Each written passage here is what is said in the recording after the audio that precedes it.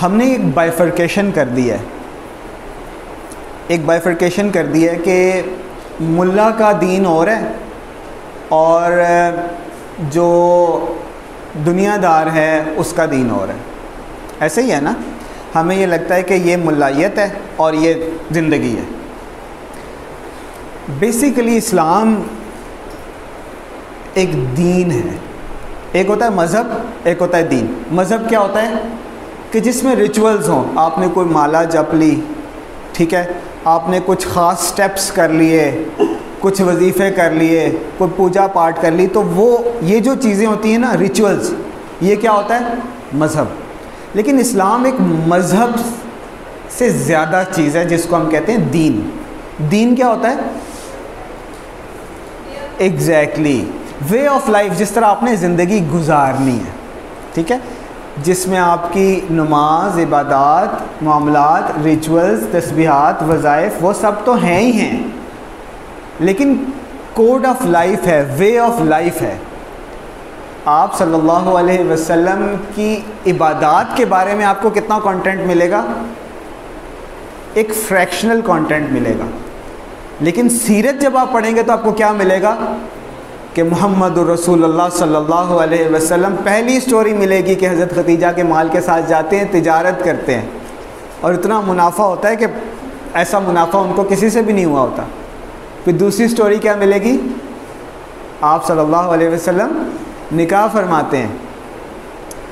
फिर आपको आप सल्लल्लाहु अलैहि वसल्लम का गार हिरा वाला मामला मिलेगा, वही वाला मिलेगा जिसमें फिर इबादत आ जाती।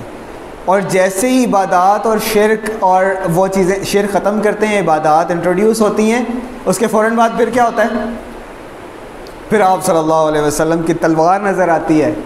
गजबा बदर में 313 को अल्लाह ताला एक हज़ार से जायद के लश्कर पर फ़तह अता फरमाते हैं। फिर गजबा अहद नज़र आती है, फिर गजबा खंदक नज़र आती है, फिर रियासत मदीना नज़र आती है। तो आप सल्लल्लाहु अलैहि वसल्लम की ज़िंदगी गुजारने का तरीका ये सीरत है। तो आ, मैं ये नहीं समझता कि मैं कोई इस्लामिक स्पीकर हूँ। ना ही मैं ये समझता हूँ कि मैं पहले कोई सेपरेटली अंटरप्रनोर था। ये सब एक ही है।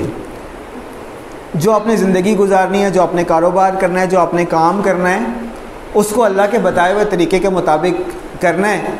यही आपका कारोबार है यही आपका दीन है। ठीक हो गया? हाँ जब आपको बात समझ आ जाती है ना तो फिर आप हर चीज़ को अल्लाह के पर्सपेक्टिव से देखने लग जाते हैं।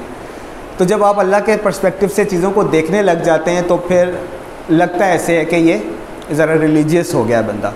लेकिन हम सब रिलीजियस हैं। हम सब रिलीजियस हैं कि इसीलिए हम यहाँ पर बैठे हुए हैं। हम सब हम सब की पहली पहचान क्या है? मुसलमान एग्जैक्टली exactly. चाहे अब कोई प्रैक्टिसिंग खुद को कहे या ना कहे, हम सब क्या हैं? मुसलमान हैं। और मुसलमान कौन होता है जो? ला इलाहा इल्लल्लाह मुहम्मद रसूलुल्लाह को मानता है। ठीक है? बीएस इंग्लिश वाले काफ़ी इंटरेस्ट ले रहे हैं। वो जब भी बीएस इंग्लिश वाले ऑडियंस में होते हैं ना तो मुझे कहते हैं सर, वो एडम एंड ईव पे कुछ बताएँ।